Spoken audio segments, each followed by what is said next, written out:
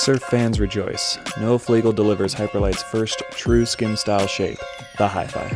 Working together with shaper Aaron Stumpf, they have created a fast, poppy, and easy to spin shape that has Noah vying for the top spot in every competition he enters. Built with our new exclusive Durashell construction, the Hi-Fi can take a beating without showing heel dents while delivering a lightweight, responsive ride. Top it off with a fully machined EVA traction pad, and surf with the control necessary to pull off the most difficult tricks.